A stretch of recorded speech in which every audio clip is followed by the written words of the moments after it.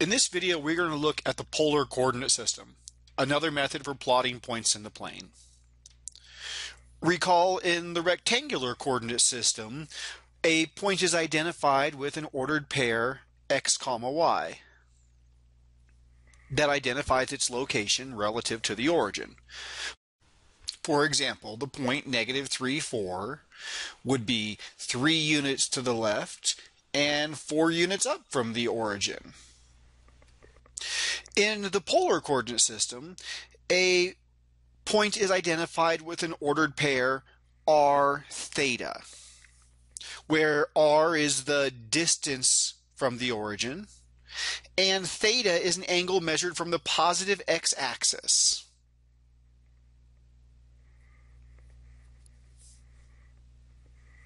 Let's look at some examples. Each of these ordered pairs identifies a point in the polar coordinate system. Let's look at these. The first one, 5, 3 pi over 4. Now you can think about the radius first or the angle of rotation first. I like using the angle of rotation first. With a rotation of 3 pi over 4 from the positive x-axis, we'd be on this line over here. Um, with a radius of 5, we'd be 5 units from the origin, two, three, four, five, it would be right here. 2, 7 pi over 6. Well, first go our rotation of 7 pi over 6 down here in the third quadrant. A radius of 2, would put it right here. Negative 6, 3 pi over 2. Well, first we do the rotation of 3 pi over 2, puts it down on the negative y-axis.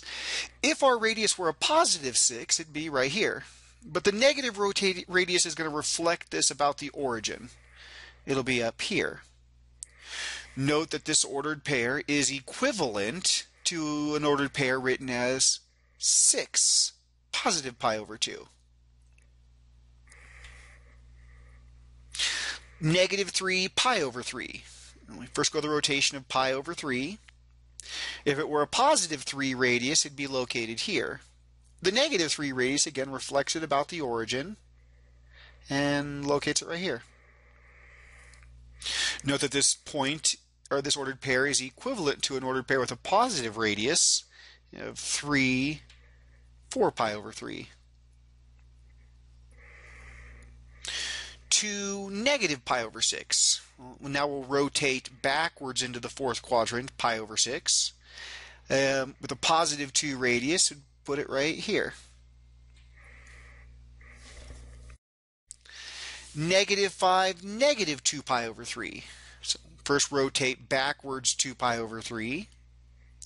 The negative radius will reflect about the origin and would locate our point right here. Note that this is equivalent to the ordered pair positive 5 pi over 3. After plotting several points, we have observed that in polar coordinates, a point can have multiple representations. Suppose that r theta and r prime theta prime are polar coordinates where r is not equal to 0 and the angles are measured in radians, then r theta and r prime theta prime determine the same point P if and only if one of the following is true. The radiuses are the same sign and one of the angles is an even multiple of pi greater. Or if the radiuses are opposite in sign, and one of the angles is an odd multiple of pi greater. For example, given the ordered pair 5 pi, uh, that would identify the point in the polar coordinate system that's right here.